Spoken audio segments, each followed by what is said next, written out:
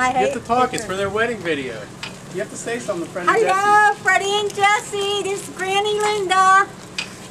How's that?